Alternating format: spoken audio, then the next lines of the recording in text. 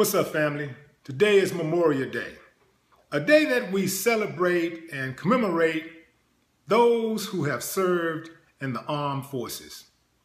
Good thing we're not talking about law enforcement because Donald Trump, your president, might have some explaining to do because it was 90 years ago today, on Memorial Day, that Donald Trump's father was arrested at a KKK rally.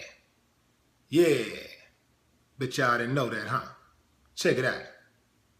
There were clashes between the Klan and New York City's Catholic police force. A 1927 article stated, Fred Trump of 175 24 Devonshire Road, Jamaica, was discharged, referring to the known address of Fred Trump. Donald Trump's father in the Jamaica neighborhood of Queens. Now, before the rally took place, there was a flyer disseminated. And the flyer basically let everybody know what the rally was about. It said native born Protestant Americans were being assaulted by Roman Catholic police of New York City.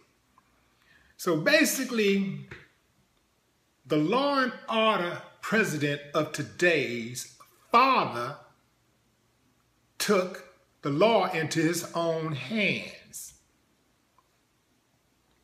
Y'all let that simmer for a moment. Now, when confronted with this revelation, this news, this fact, Donald Trump denied the allegations. He said it never happened. Of course he would say it never happened. The dude is a natural born liar. Now, who, by show of hands, are really surprised about all of this? Because we know the dude a racist. We know what he's all about. We know how he's built. We know what he's about bona fide racist. Uh, have no doubt that Donald Trump's father was a KKK card carrying member. I have no doubt. You know, this is where he come from.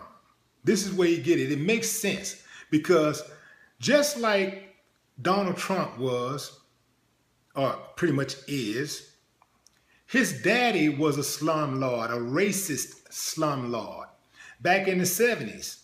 It's reported, it's documented that his daddy had issues where he was being accused of uh, discriminatory practices. So this is not some huge revelation. This is just the past being uncovered. That's all it is. I've been telling y'all all along what this dude is about. I don't know why some of y'all are so damn hard-headed. Why y'all want to act like just because a dude have a couple of black folks around him that he not racist, or he have a couple of Mexicans around him, he not racist, or because he married a what is his woman? What is his wife? Uh, Slovakian? What is she? Russian or whatever she is? But she she's an immigrant. Because he married an immigrant, he's not racist. Y'all know, y'all do know that the slave owners slept with the slaves. Y'all know that, right? You know, he they and when I say slaves, notice that I wasn't gender specific. I wasn't gender specific. Yeah, slave owners. Y'all want to know where all this homosexuality come from? You can take it right on back over there. Yeah. They were sleeping with boys and girls, women and men. I know that shit hurt, don't it? For you racist trolls out there that's watching me right now, I know I motherfuckers can't stand me, can you? but you got to deal with it. You did what I'm saying? Now, according to uh, Ivana, his ex-wife, Donald Trump was obsessed with Hitler and the Nazis. Obsessed. Not a huge surprise that he's kicking it with Russians right now. Not a huge surprise. He obsessed with that culture, you know, that mentality. Something wrong with dude. The dude you voted for. Yeah. Now, oh, it also should be mentioned that his granddaddy was a drug selling pimp. Yeah, Donald Trump granddaddy was a pimp. Sold drugs. Bet you didn't know that either, huh? Truth shall come to light, man. You know what I'm saying? Everything in the dark gonna come to light sooner or later. Believe that. Now, I mean, what a family, man. What a family. What a family. And made it all the way to the White House, which was pretty much consistent with how other presidents from the past, you know, because you know you had presidents in the past who had who owned slaves. Somehow they figure out a way to name streets and buildings after them and put their name on money like they're somebody to be revered. But hey, man, you know how I go, man, only in America. But getting back to Donald Trump, Daddy Fred.